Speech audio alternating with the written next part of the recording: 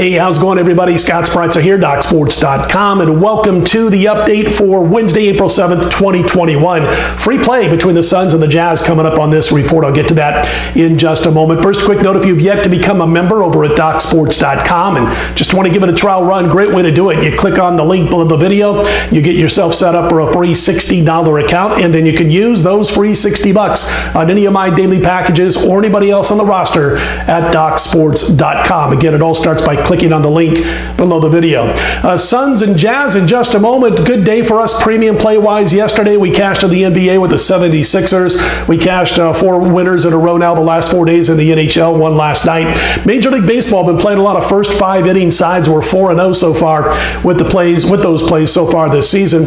Busy schedule on a Wednesday for us on my homepage at DocSports.com. The star of the show is a seven star play in NHL action. And going back to last season, we're now up over $5,400 for $100 per unit bettors with my high end rated plays in the NHL. That's those plays rated five, six, and seven stars.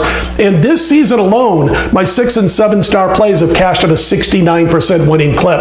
Uh, that's the big play for me on Wednesday on my homepage, DocSports.com, seven star play in the NHL. I've also got uh, NBA, one play in the NBA. Uh, we've also got uh, Major League Baseball. My next first five innings side goes on Wednesday. It's available on my homepage at DocSports.com. We'll look to go to 5 0 with those plays. I've also got soccer. You know how hot we've been there. And PGA, my first play in the Masters. It's a first round early Thursday matchup, which means it's available on Wednesday on my homepage at DocSports.com. Let's get to the matchup between the Jazz and the Suns. Jazz laying a couple of points here as I cut this video on the road. And listen, I just don't think their style matches up well with Phoenix. Uh, Phoenix beat them by 11 way back on New Year's Eve. I know a lot of things have happened since then as far as the Jazz and a couple of their big runs. But remember, they've only covered six of their last 14 games.